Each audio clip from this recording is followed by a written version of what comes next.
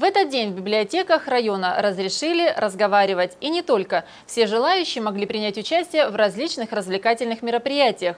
Обе славянские библиотеки, межпоселенческая и городская, вечером 25 апреля распахнули двери для книгоманов. С подробностями наши корреспонденты. Богатая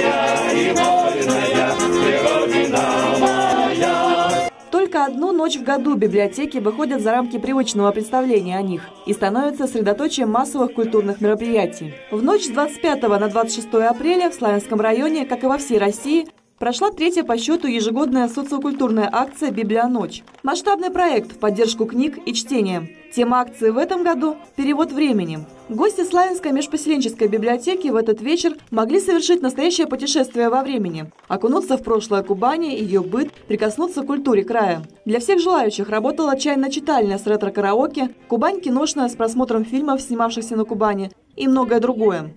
Наша библиотека преемница районной библиотеки, которая родилась в 50-е годы 20 века. И сегодня 21 век. Мы стараемся шагать ногу со временем. В нашей библиотеке электронные ресурсы, электронные услуги, которые ждут вас. Сотрудники Центральной городской библиотеки также подготовили множество сюрпризов для посетителей. Все пришедшие совершили литературный круиз в страны, города, библиотеки. Именно под таким названием здесь прошла акция «Библионочь». Развлекательная программа здесь была подготовлена для всех. Юные книголюбы приняли участие в викторине «Библиодартс», а взрослые – в вечере элегии «Души звенящая струна». Алена Лавринова, Георгий Калинин, Константин Монастренко. Программа «События».